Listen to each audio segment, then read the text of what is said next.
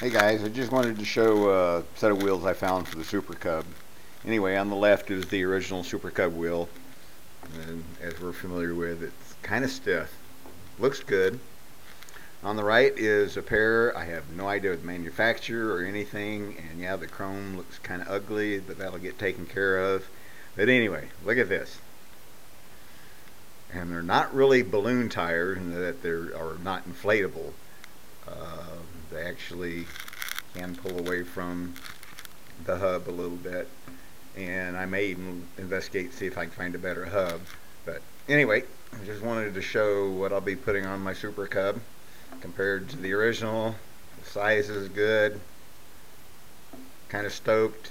All for a pair of those for 50 cents. You gotta love swap meets. Anyway, there you go.